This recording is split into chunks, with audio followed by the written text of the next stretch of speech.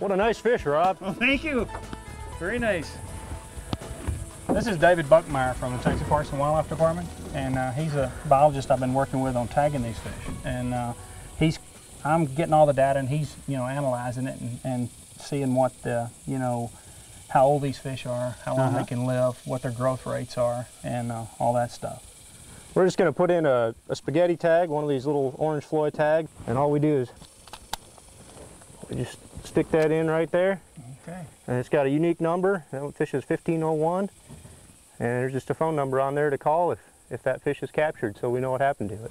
She's got a tag in her? Yes, sir. Right over the gunnel. her, Right over the edge. Just ease her over and let her go. Whoa. So Dave, this uh, tagging the fish is going to allow allow to get some population size estimates on this, and uh, so that's kind of in the ver- in the early beginning stages. But that's really just a start in terms of understanding about these these gar out here, isn't it?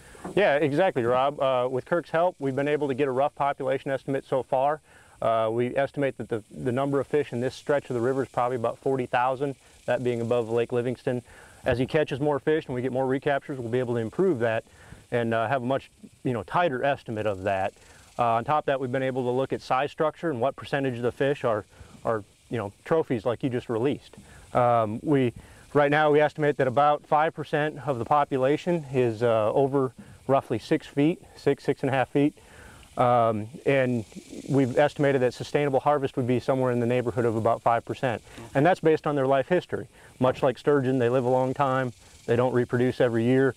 So we need to, you know, understand those things. So you're talking about just a handful of those real trophy fish that, you know, that we believe is sustainable harvest. So Dave, based on based on the data so far, then that um, um, the state is coming up with a new regulation, then the first time ever for the gar. Yeah, Rob, that's correct. We, uh, we went to the commission earlier this year and we got a one fish per day regulation passed. And uh, for now, that's, you know, at least to give some protection we're, as we're learning more about these fish. Um, in some areas, we may find that, you know, more regulations is necessary. In other areas, that regulation may be sufficient. It really depends on, you know, the recruitment and, uh, and how many of these fish there are. So with help from people like Kirk, we're able to determine that. So these fish might only spawn once every five to seven years, or who knows? It's kind of like kind of like sturgeon, another That's another exactly. fishery that's like this.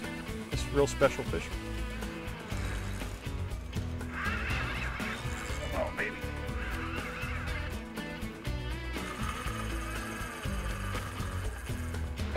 Oh, what a creature there.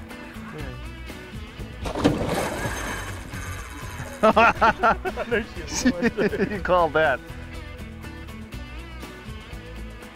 Ready to get this one in, Kirk? Whoa. Woo! Man, Kirk, you know, this, you can't go anywhere else in the world and get into giant fish like this. In, in terms of gator gar populations, this is the top of the heap right here. Yes, sir. We have the last, you know, the, the best population alligator gar anywhere in the world, and uh, you know we're we're trying to uh, improve the regulations, and, and you know where these fish will be here for everybody else. So Yeah, we have to. It is truly a national treasure.